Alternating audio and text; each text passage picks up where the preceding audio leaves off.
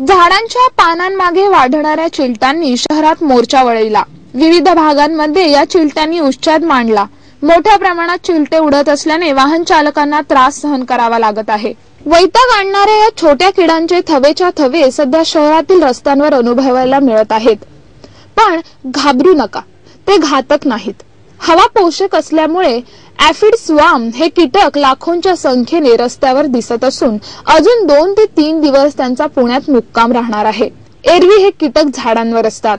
पण सध्या पुण्यात हवा चांगली असून या किड्यांना पोषक असे वातावरण तयार झाले आहे. त्यामुळे ते लाखोंच्या संख्येने रस्त्यावर आले आहेत. हे कीटक घातक नाहीत किंवा त्यांच्यामुळे मानवी आरोग्यास धोका नाही.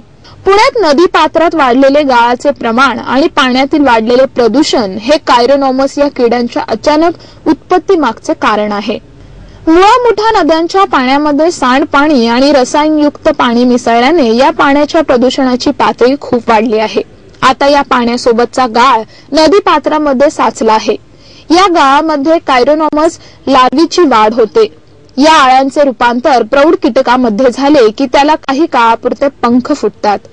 यामुळे त्यांचे थवेचे थवे आपल्याला उडताना दिसून येतात.